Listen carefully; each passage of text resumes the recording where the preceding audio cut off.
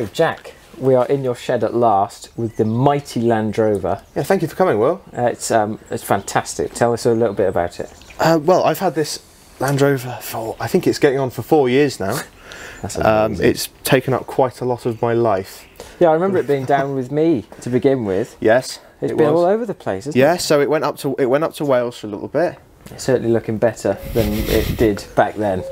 Yeah, well, I've believe it or not, I've been through pretty much everything on this car. Have you really? Yeah, um, Inside and out? yeah, you can't really avoid anything. You think, oh, that looks all right. We'll leave that, and then it comes up to bite you.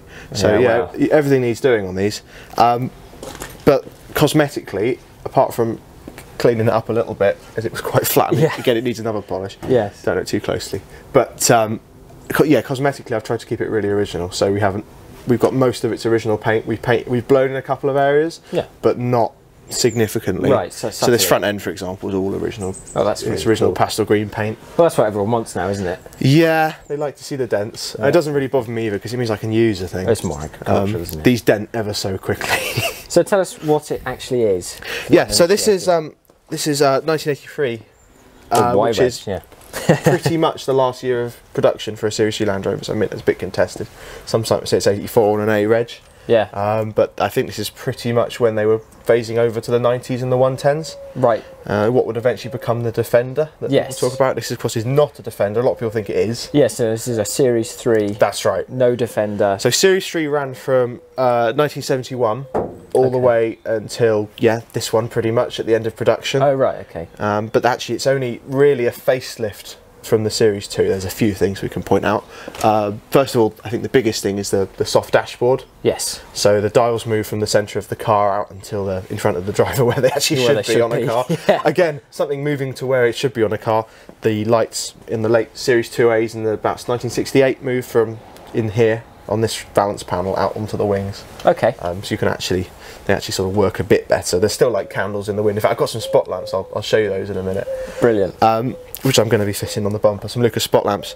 oh, this is a diesel. This is a diesel, um, which scares a lot of people when it comes to Land Rovers of this ilk. Um, but this, yeah, it's two and a quarter litre diesel, Right.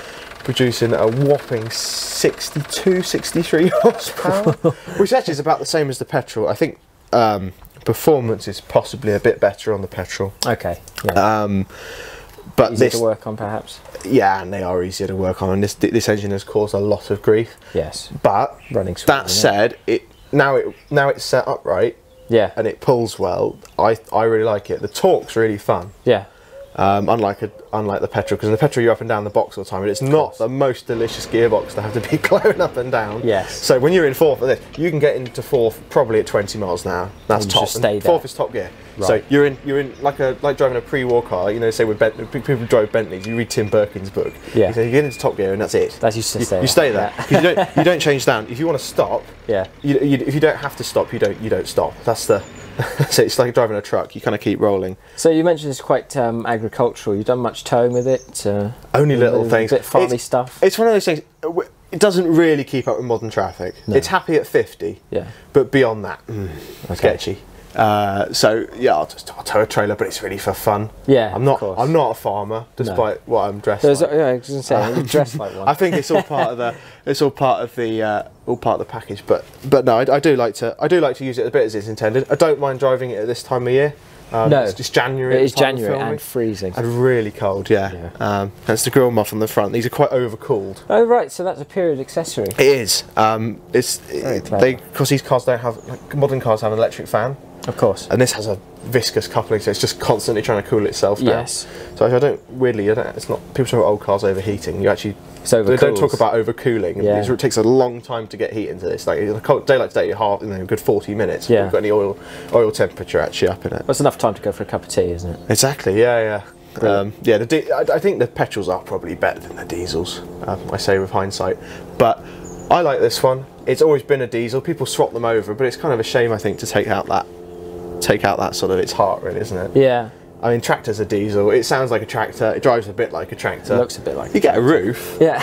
and a headlining in this one. It's, Well, it's got posh. the deluxe interior. It's posh. It's posh. Why don't you show us around? Yeah, let's have a look.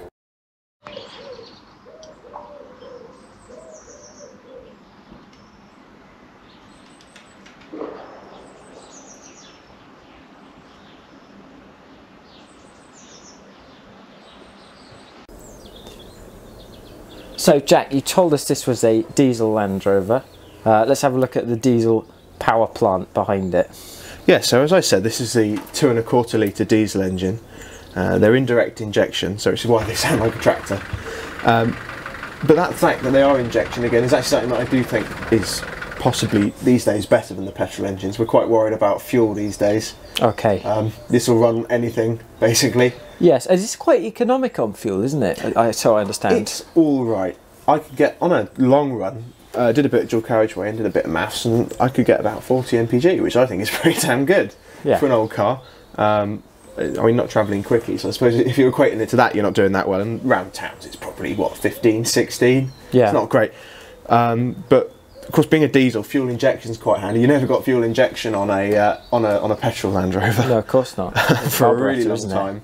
Um, and, and, and that works actually works quite well uh, using those old fashioned CAV injector pumps um, and that sort of thing. And these were designed for some to be quite obviously being a Land Rover designed for some quite tough environments. You have uh, quite unusually an oil bath air filter on these series cars. Um, So that's filled with oil in there. Yes, it's just a better filtration system. If you've got sand and dust and all sorts of things that you, in normal sort of air filters you get on cars can cause a problem. Okay. Um, So,